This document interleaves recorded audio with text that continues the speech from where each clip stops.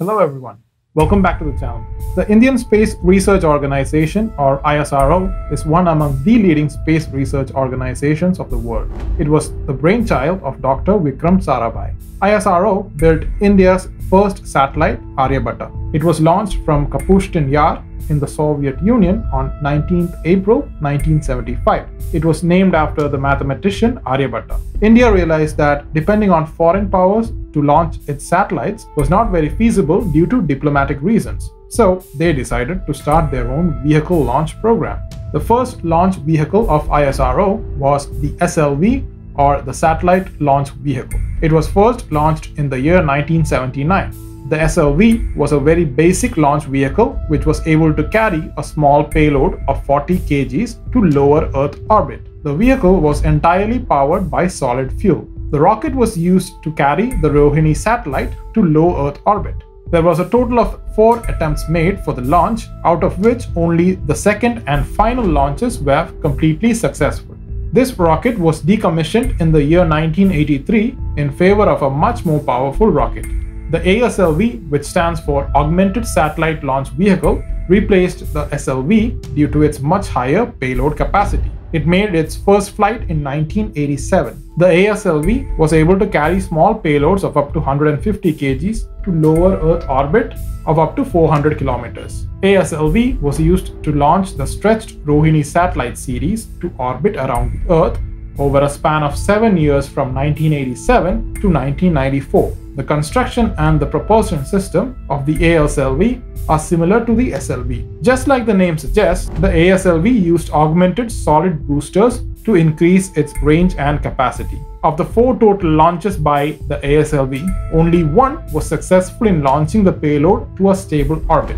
The SLV and the ASLV are both decommissioned and not used anymore. The two were replaced by a much bigger and powerful polar satellite launch vehicle. The PSLV was developed by ISRO due to necessity. It was developed to launch India's remote sensing satellite. Up until the development of the PSLV, all of India's satellites were launched only by Russia. The PSLV was developed as ISRO realized the importance of India having its own indigenous launcher.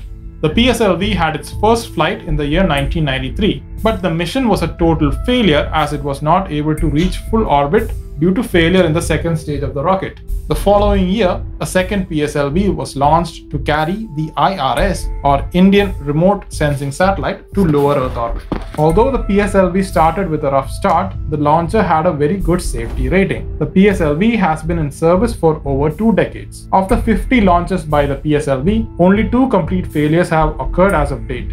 Due to the unmatched reliability and safety, the PSLV earned its title the workhorse of ISRO. This is because of the extremely simple yet flexible design of the rocket. Unlike many Western and Russian rockets, the PSLV does not solely depend on cryogenic fuels in its main stage. PSLV is a four-stage launch vehicle with the first and third stage using solid rocket motors and the second and fourth stages using liquid rocket engines. If you're not sure what a liquid and solid engine are, stay tuned. We'll be uploading videos on them soon. The rocket also uses strap-on solid boosters to augment the thrust provided by the first stage and depending on the number of these strap-on boosters, the PSLV is classified into its various versions like core alone version, PSLV-CA, PSLV-G, and PSLV-XL. Because of these modifications, the PSLV proved to be a highly versatile rocket capable of launching a wide variety of payloads.